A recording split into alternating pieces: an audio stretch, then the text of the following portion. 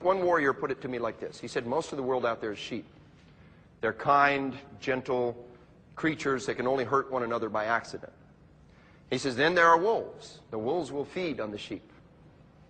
They're the sociopaths. They're the criminals. He says, and then there are sheepdogs. The sheep are a little leery of the sheepdog.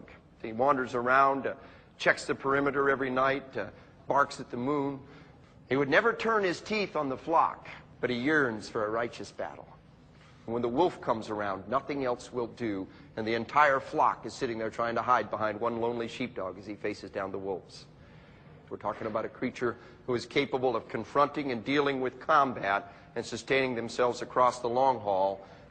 The goal becomes to be a sheepdog, to be a warrior, to be the one that is ready to respond to the threats when the time arises.